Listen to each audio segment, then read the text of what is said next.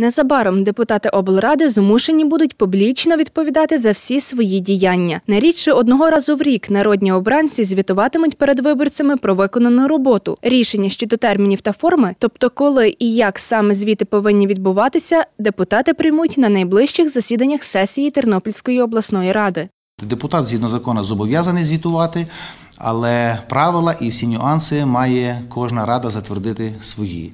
І коли ми робили таку погоджувальну раду з представниками фракцій, всіх е, представників фракцій я запросив, е, всі визнавали, що звітувати потрібно, е, всі ці правила потрібно виконувати.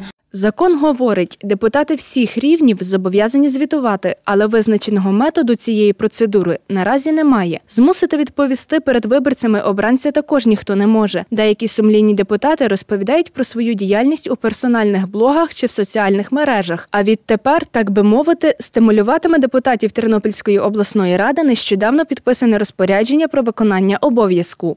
Розроблений робочою групою з підготовки звітування депутатів Тернопільської ради п'ятого скликання перед виборцями проект рішення затвердити на сесії, запропонувати депутатам визначити місце, дату, час проведення, інформувати про результати обговорення, зауваження, пропозиції, висланих виборцям на адресу шляхом надання відповідної інформації у виконавчий апарат Тернопільської обласної ради.